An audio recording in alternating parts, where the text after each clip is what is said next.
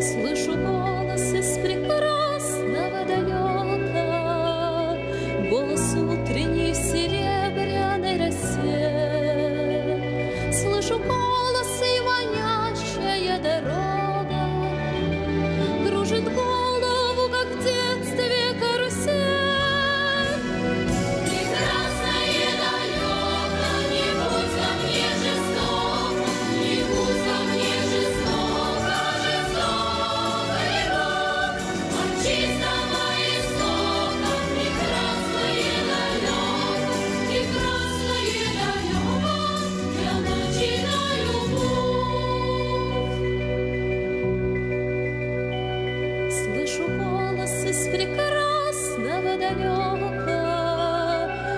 зовет меня.